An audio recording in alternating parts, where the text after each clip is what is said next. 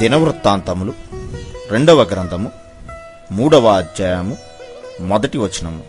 తరువాత సొలోమోను ఎరుషలేములో తన తండ్రి అయిన దావీదునకు యెహోవా ప్రత్యక్షమైనప్పుడు మోరియా పర్వతమందు దావీదు సిద్ధపరిచిన స్థలమున యోబీసీడైన వార్నాను కళ్ళమందు దావీదు ఏర్పరిచిన స్థలమున యెహోవాకు ఒక మందిరమును కట్టనారంభించెను.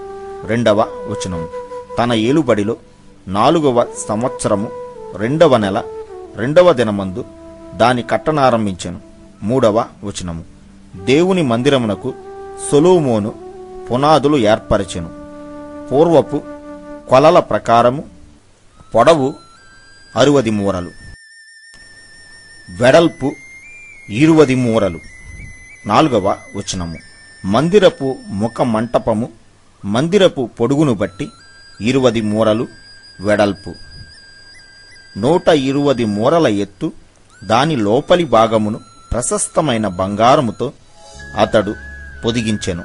ఐదవ వచనము. మందిరపు పెద్ద గదిని దేవదారు పలకలతో కప్పి వాటిపైన మేలిమి బంగారమును పొదిగించి పైభాగమున ఖర్జూరపు చెట్ల వంటి పనియు గొలుసుల వంటి పనియు చెక్కించి ఆరవ వచనము. ప్రశస్తమైన రత్నములతో దానిని అలంకరించెను. ఆ బంగారము పర్వాయిము నుండి వచ్చినది. ఏడవ వచనము. మందిరపు దూలములను స్తంభములను దాని గోడలను దాని తలుపులను బంగారుముతో పొదిగించి గోడల మీద కేరూబులను చెక్కించెను. ఎనిమిదవ వచనము. మరియు అతడు పరిశుద్ధ స్థలమొకటి కట్టించెను. దాని పొడవు మందిరపు వెడల్పును బట్టి ఇరువది మూరలు. దాని వెడల్పు ఇరువది మూరలు.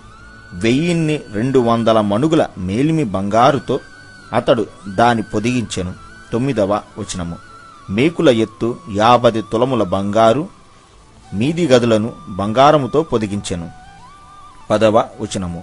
అతి పరిశుద్ధ స్థలమునందు చక్కడపు పనిగల రెండు కేరూబులను చేయించి వాటిని బంగారుతో పొదిగించెను. పదకొండవ వచనము మరియు పన్నెండవ వచనము.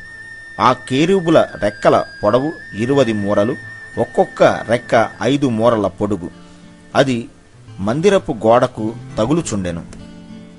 రెండవది జతగానున్న కేరూబు రెక్కకు తగులుచుండెను. పదమూడవ వచనము. ఈ ప్రకారము చాచుకొనిన ఈ కేరూబుల రెక్కలు ఇరువది మూరలు వ్యాపించెను. కేరూబులు పాదముల మీద నిలువబడెను. వాటి ముఖములు మందిరపు లోతట్టు తిరిగియుండెను. పద్నాలుగవ వచనము. అతడు నీలి నూలుతోను ఓదా నూలుతోను ఎర్ర నూలుతోను సన్నపు నార నూలుతోను ఒక తెరను చేయించి కేరూబులను కుట్టించెను.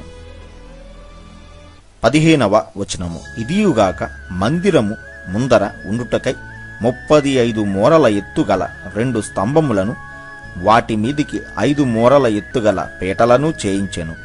పదహారవ వచనము.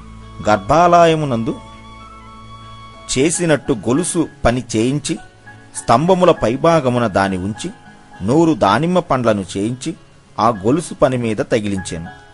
పదిహేడవ వచనము.